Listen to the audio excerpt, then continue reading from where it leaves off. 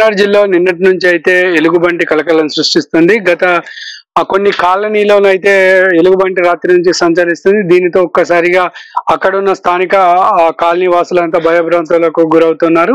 అయితే కొన్ని ప్రదేశాల్లో బొమ్మకలు కరీంనగర్ పట్టణంలోని బొమ్మకలు అలాగే రాజ్య రాజ్వి చౌక్ రేకుర్తి ఇలాంటి కాలనీలో అయితే ఈ ఎలుగుబంటి అయితే సంచరిస్తుంది. దీన్ని చూసిన ప్రజలు ఒక భయానికి గురవుతున్నారు. అయితే దీ విషయం తెలుసుకున్న అటవీ అధికారులకు స్థానిక ప్రజలు సమాచారం ఇవ్వడంతో అటవీ అధికారులు హన్మకొండ నుండి ఈ రోజు కరీంనగర్ వచ్చి ఎక్కడున్న విషయాన్ని అయితే సీసీ కెమెరాల ద్వారా దాన్ని తెలుసుకునే ప్రయత్నం చేశారు. అయితే ఈ రోజు అయితే మా మధ్యాహ్నం రేకుర్తి రేకుర్తి గుట్టల వద్ద సమక్క సారక్క గద్దెల వద్ద అయితే ఉన్నట్టయితే తెలుసుకుని అక్కడికైతే ఫారెస్ట్ అధికారులు చేరుకున్నారు. ఫారెస్ట్ అధికారులు చేరుకుని అక్కడ దానికి సంబంధించిన ఒక గన్తో షూట్ చేయడంతో అది అక్కడికి అక్కడే పడిపోవడంతో దాన్ని తీసుకొని ఆ వ్యాన్లో ఫారెస్ట్ అడవి ఫారెస్ట్ డిపార్ట్మెంట్ వ్యాన్లో ఎక్కించారు.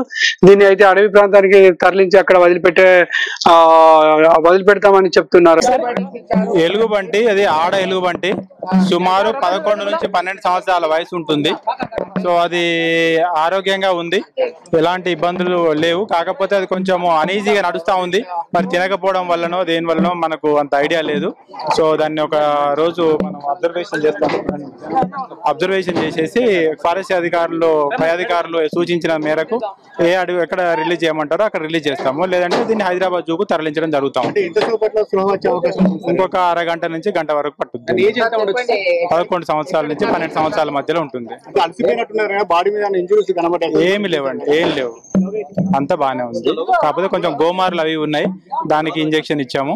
సో మత్తు నుంచి తేరుకోవడానికి ఒక ఇంజెక్షన్ ఇచ్చాము. కొద్దిగా చిన్న చిన్న అంటే మనం డాటింగ్ చేసిన దానికి రంధ్రం పడుతుంది కదా దాన్ని పూడడానికి కొంచెం యాంటీబయాటిక్ ఇచ్చేసి కొద్దిగా దాన్ని లేవడానికి దానికి బలానికి కొంచెము న్యూరో న్యూరోవెట్స్ లాంటివి ఇస్తాం అనమాట నర్వైన్ ఇంజెక్షన్స్ ఇస్తాము అవి ఇచ్చేస్తాము